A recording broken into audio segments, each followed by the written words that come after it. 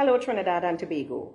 The PDP officially announces its list of executives today who will be responsible for taking the party's mandate and ideology nationwide. Unfortunately, I'm unable to attend the public event today in person as I'm traveling with my family on annual vacation in Greece.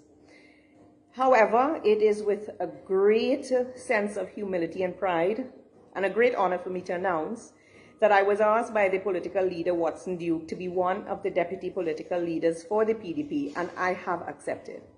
I have accepted based on the fact that I believe that the PDP can equally seat every ethnic group at the governmental table, which can help to transform, unify, and develop Trinidad and Tobago at an economic level. It is a great honor for me to be part of the PDP and